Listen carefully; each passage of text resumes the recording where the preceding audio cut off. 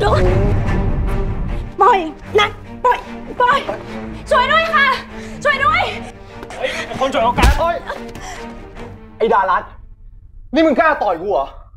จะจีบผู้หญิงมีวิธีตั้งเยอะแยะ ไม่เห็นต้องทำแบบนี้เลย ก่อนที่มึงจะมาสอนกูเนี่ย มึงมีเงินจ่ายค่าเทอมหรือยังวะ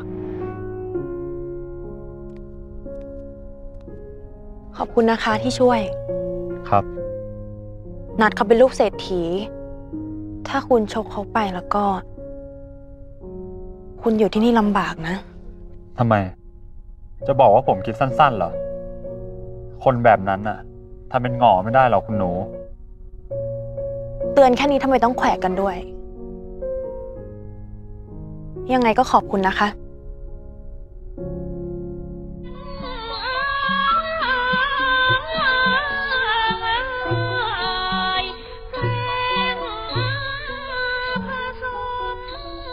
สวยจังเลยอะ คนชื่นชมกันทั้งงานเลย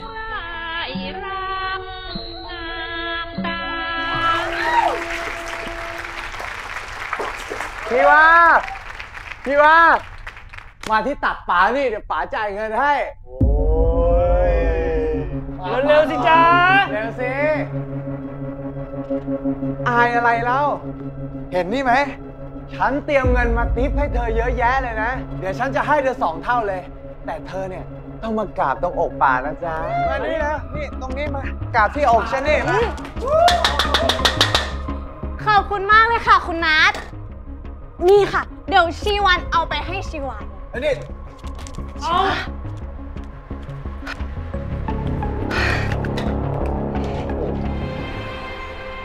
ชิวา ถามคุณสรุตเรื่องสวิตสิ แล้วไม่ไม่ถามเองอะถามสิ ถาม พี่สรุตเรียนที่อังกฤษคงเคยมาที่นี่ใช่ไหมคะ ครับ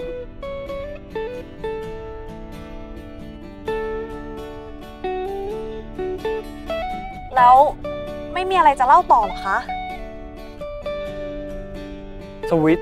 เป็นประเทศที่พ่อกับแม่พี่พบรักกันอะ ท่านหญิงวรรณรสากลำองค์เป็นสามัญชน พบรักกับคุณชายประวรรุดระหว่างท่องเที่ยว ครับ ฮัลโหล Hi Good morning Shiva อืมตั้งแต่ชิวามาเรียนที่นี่ และมาค้างคืนที่นี่กับชิวันผม เริ่มผูกกราบแดงไว้อืมผมหมายถึงคนไทย ก็รู้ความหมายของกราบแดงใช่ไหม ค่ะ ผมให้คุณดารัตมาที่นี่ได้ไง นี่คาเฟ่ในมหาลัยฉัน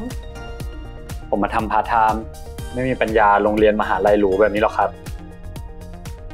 ดีเลยจะได้คุยกัน พอดีฉันเป็นคนไทยที่นี่คนเดียวเอง เป็นเด็กเสิร์ฟ จะนั่งคุยเล่นกับลูกค้าคงไม่ได้หรอกครับ วันนี้รับอะไรดีครับ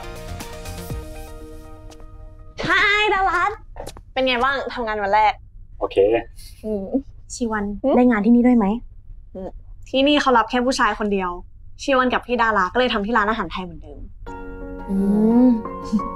เป็นไงเหนื่อยไหมนี่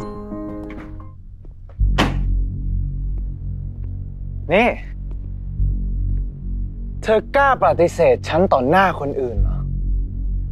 นี่ยังไม่กลับไปอีกเหรอ ฉันอยากจะรู้นักว่าคนอย่างไอ้สรุตเนี่ยมันมีดีอะไร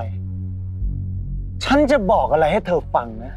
มันหมดยุคของจุธาเทพไปแล้ว ตอนเนี้ยมันเป็นยุคของพ่อฉัน แล้วก็ตระกูลของฉันเว้ย Help me please ไม่มีใครได้ยินเธอหรอกชิวา Help me Get in Help me please